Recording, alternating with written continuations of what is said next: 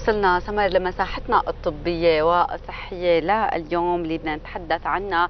واليوم موضوعنا العقم وهي وهو من الحالات التي يصاب في نسبة 10% ل 15% من المتزوجين لأسباب وعوامل عديدة تسبب مع الوقت أيضا عدم الإنجاب وأيضا ضعف في القدرة على الإنجاب. لنتعرف على أبرز العوامل يلي بتسبب العقم وهل من حلول طبية باتت متاحة؟ أكيد بصرنا نرحب بالدكتور أكرم الأحمر اختصاصي بأمراض النساء والتوليد. يسعد صباحك دكتور وأهلا وسهلا فيك. يا صباح الفل سالي هاي. يسعد صباحك دكتور واهلا وسهلا فيك. النور يا هلا. دكتور بالبداية خلينا نعرف العقم طبيا أكيد وكيف بتختلف المشكلة بين الرجل والمرأة؟ آه، تماما. هلا خليني أقول إنه العقم هو أي زوجين خلينا نكون واضحين بكل كلمة أي زوجين available لبعضهم متوفرين لبعض مو إنه حدا مسافر. يعني وإذا بيجي بعدين الزوج إذا مسافر بيجي بوقت الإباضة أو ما بيجي بوقت الإباضة لا. أي زوجين available لبعض تمام آه، وعندهم رغبه بالإنجاب مضى سنة على هالرغبة هي آه، ولم يحدث حمل بنقول هن دخلوا آه، ضمن تصنيف العقم. هلأ في بعض دراسات بتقول لغاية السنة ونص بآخر كم سنة آه، خاصة مع تطور الحياة مع تأخر شوي سن الزواج مع بعض المشاكل اللي عم نشوفها البسيطة يلي قابلة للإصلاح الذاتي يعني بدون علاج. فلذلك صارت الفترة بنقول حوالي سنة ونص.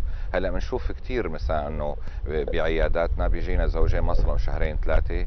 آه، طبعا هون الضغط الاجتماعي بيلعب دور كثير كبير. جيبوا لنا ولد. جيبوا لنا ولد وشو مخبايه ببطنك وفنجان القهوة من هذا الحكي. بتلاقي الضغط النفسي ممكن يؤدي لتأخر الحمل بهي الحالة. بنقول لهم لا قبل سنة أو سنة ونص آه، لحدا يقرب على عيادة آه، طبيب النسائيه مشان موضوع الحمل. إلا إذا كان أحد الطرفين أو كليهما بيعرف مسبقا إنه هو في عنده مشكلة. تماما. فبهالحالة لا بيبادروا بزيارة العيادة بشكل مبكر. برجع لسؤالك سمر هلا لما قلت لي إنه شو أسباب العقم؟ هلا النسبة العالمية اللي ذكرتيها بالمقدمه سالي هي نسبة عالمية إنه بدنا نقول إنه هلا في عنا بفرض 100 زوج وزوجة هلا تجوزوا هون بالاستوديو عنا. بنقول خلال سنة 90 منهم رح يكونوا حوامل. هلا ليس بالضرورة إنه كل حمل يؤدي لولادة وليد حي تمام؟ المهم صار الحمل معناته طلعوا خارج تصنيف العقم. مش شرط بالضرورة يؤدي لولادة وليد حي المهم صار في عنا حمل. نعم. اذا 90 منهم رح يصير في عندهم آه، حمل خلال هي السنة. هلأ بيصفى بقى ال 10% بنرجع لأسبابهم. تعالوا نرجع أنا وياكم للغة الأرقام المبسطة المعودين مشاهدينا عليها أوكي؟ تمام. هلأ بنقول آه إذا انجبنا 100 زوج وزوج عقيمين يعني مضى عليهم سنة سنة ونص مثل ما قلنا وما صار في حمل بنشوف شو الأسباب اللي عندهم بنلاقي حوالي 40 آه بالمية منهم السبب أنثوي يعني من الزوجة. حوالي 40 السبب من الزوج في 10% منهم 10 من هدول المية كليهما عندهم الزوج والزوجة عندهم مشكلة في 10% هي بدي شوي هيك وقف عندها لا الزوج عنده مشكلة ولا الزوجة عندها مشكلة وبالرغم من هيك ما بصير في حمل بنسميه عقم غير مفسر تماما عقم غير مفسر. فإذا إنه بنلاحظ إنه يكاد يكون الزوج والزوجة متساويين بسبب آه، من بأسباب العقم فما يحط الرجال دائما الحق على الزوجة لأنه بنشوفها كثير يعني أنا عم صر على هالنقطة. انه بنبلش نحن بدنا نشتغل مع الزوجة بس بنطلب تحليل سائل للزوج. الزوج ما فيني شيء أنا أنا رجال ما فيني شيء. يا أخي ما عم نحكي قصة رجولية هلأ. بدنا تحليل بس بسيط تحليل سائل بعد امتناع ثلاثة لاربع أيام. لأنه هذا بينهي لنا 90% من دراستنا التشخيصية من ناحية الرجل ما بيقبل. لا بنقول له أنت مسؤول بنسبة 40% مثل ما هي الزوجة العامل الأنثوي مسؤول بنسبة 40% عن تأخر الحمل. هون بالمناسبة بالتطور اللي صار معنا التطور التقني صار معنا والدوائي صار معنا. والتشخيصي بالأساس بنقول هلأ صرنا ميالين أكثر سالي وسمر إنه ما بقى نستعمل كلمة عقم صحيح. غالبا بنستعمل تأخر الحمل. طيب. هلأ برجع بكمل بسؤالك بقى إنه لما قلت إنه إحنا ان 40% سبب أنثوي خلي السبب الذكري لاحقا بنحكي عنه لأنه هذا بده حلقة لحاله. ال- العقم الأنثوي أو تأخر الحمل الأنثوي اللي هو 40% من الأسباب هون بقى في له آه، مجموعة أسباب. فكمان بنرجع للغة الأرقام أنا وياكم بنقول من أصل 100 زوجه هي السبب بتأخر الحمل? بنلاقي حوالي 35% من الأسباب هو سبب مبيضي ولحسن الحظ الأسباب المبيضية من أكثر الأسباب سهولة بالتدبير والتعامل معها. بنلاقي حوالي 35% آه، آه، السبب بالأنبوبين بفالوبيان تيوب بالانابيب الناقلة آه، هي بنلاقي في فيهم المشكلة وفي 15% أسباب أخرى وفي 15% أسباب تشريحية وفي منها مجهولة ما بنعرفها. تماما اذا هلأ لما بنجي بقى بدنا نفصلها كمان. بنجي بنشوف الأسباب المبيضيه يلي موجودة عندها. لحسن الحظ لحسن الحظ مثل ما قلت قابلة للتدبير والمعالجة نعم وجزء منها من دون أي تدبير من دون معالجة بس إذا. صبرنا أكثر من سنة ونص لغاية سنتين بيمشي حالها. عدا بعض الأمراض الشديدة الثقيلة بمعنى رح أقول عن الشغلة بتخص عامل الغدد وما ننسى نحن بنرجع نذكر بشغلة سيداتي إنه م، وظيفة المبيض الأساسية هن شغلتين يستقبل هرمونات وينتج هرمونات هي وظيفة ووظيفة الثانية يطلع بويضة بمنتصف الدورة الشهرية. تماما. هلأ هذا مرتبط بالمحور الغدي كلياته. يلي نعرف إنه نحن المبيضين هن عضوين انتهائيين مثل ما الخصيتين عند الرجل عضوين انتهائيين.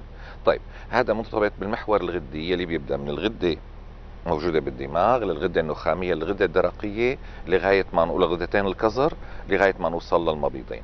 هلأ إذا بدي أقول إنه من ناحية التصنيف إذا إجت لعنا هلأ زوج وزوجة على العيادة آه وعم نس- عم نسأل الزوجة عم نستجوبها بنجي بنقول لها إنه دورتك كيف؟ تاني دورتي دكتور شبه منتظمة، طيب شو يعني شبه منتظمة؟ نوضحها؟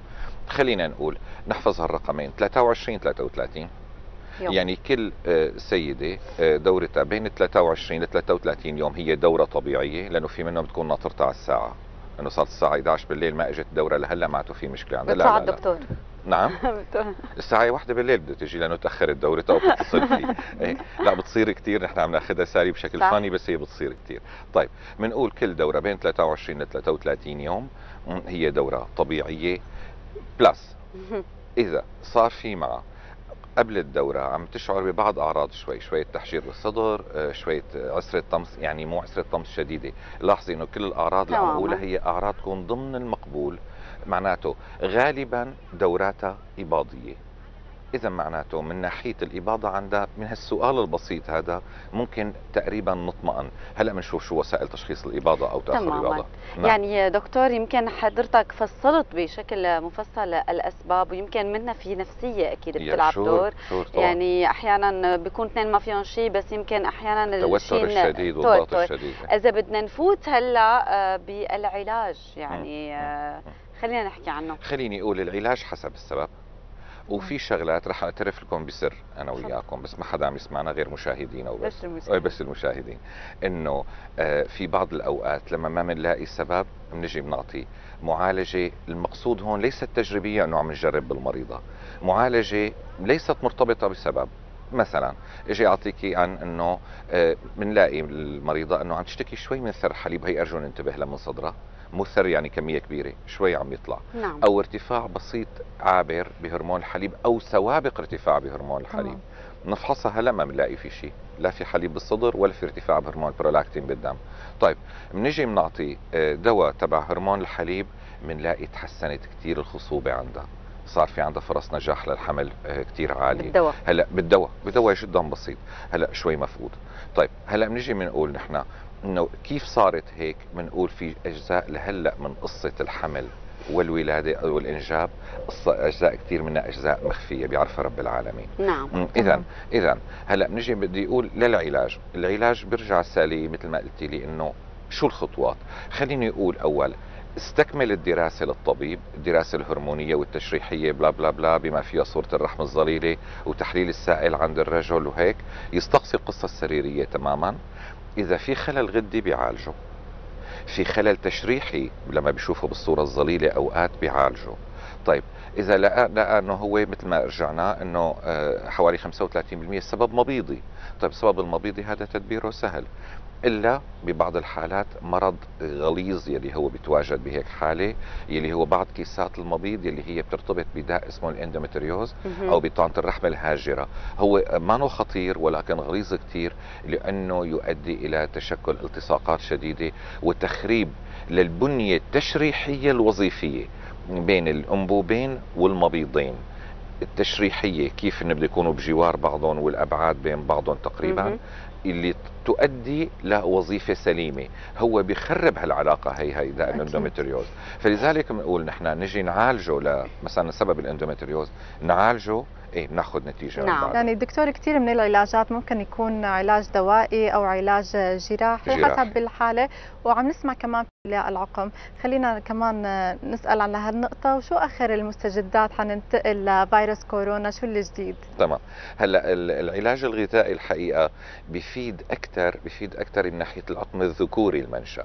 ولكن لما بنلاقي إنه شيء مرتبط هام جدا الاوفر ويت زيادة الوزن عند الأنثى أو الزوجة مرتبطة بسوء وظيفة بعمل مبيض يلي قد تؤدي لتكيس مبايض آه، آه، وشعرانية عندها يلي ترتبط باللا اباضه فبنلاقي العلاج الغذائي المناسب لها بينزل لها وزنها وفلذلك ترجع خصوبتها عندها طيب هلأ بدي أرجع لسؤالك مشان كورونا.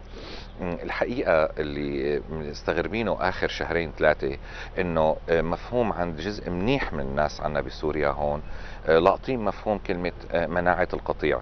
يا أخي بس خلينا نقول هالجملة. مناعة القطيع تعني إصابة على الأقل 70% من عدد السكان بكورونا. نعم. بيصفى 30% فرطاعين وشوي بشوي بتقل احتمالات كثير إنه بتسكري الفج... على المرض الكورونا.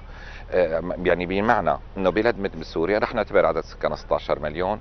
مناعة القطيع بده ينصاب 70% 12 مليون لازم يصابوا. من ها 12 مليون بده يقول في عنا بده يكون وفاة حوالي 70 80 طيب 70 80 ألف هذا كلام غير مقبول على الإطلاق. أكيد. رح أقول معلومة شيء اسمه الآر أو الآر أو هو معدل انتشار أي مرض. نعم. طيب معدل انتشار المرض وشوفوا قديش بسيطة القصة. إنه هلأ واحد يكون مصاب تمام؟ آه، خلال أول أسبوع بيعدي أربعة بعد ثلاث أسابيع بيعدي حوالي سبعين شخص. إذا ما اتبعنا ثلاث قواعد بسيطة كتير التباعد الاجتماعي والماسك الكمامة والنظافة الشخصية. نعم. طيب. دكتور آه، يمكن آه، المواضيع اللي عم تحكي عنها جدا مهمة وبتفاصيل إن شاء الله هيك آه، يقدر المشاهد يستفيد منها وياخذ المعلومة الصح لأنه كثير عم يتناقلوا معلومات خاطئة وبلا الرجوع للأطباء أو المراجع الطبية. كلمة أخيرة منك دكتور لكل يلي عم بيتابعنا هلأ. يعني نحن بنتمنى نحكي أكثر يعني وبشكل مفصل لكن في كثير معلومات لكن الوقت داهمنا ولا يمل ولكن بس بدنا كلمة منك لكن كورونا ولا عن عقم؟ اللي بدك طيب خلينا خلينا نقول عن العقم.